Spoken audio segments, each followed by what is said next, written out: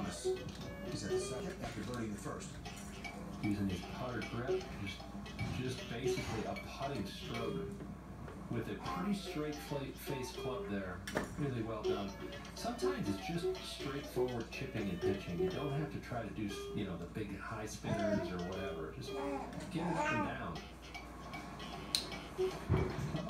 How about what Patrick Reed was doing yesterday? He was 8 under par after an even par 72 on day one, and then he double bogey the last to kind of derail that momentum. But boy, was he playing fabulous golf yesterday all the way until that last hole. That double sure put the uh, the brakes on it, didn't it? Had a really consistent year this this past season, I should say. Bones has made his way to this group. Patrick Reed, one of the great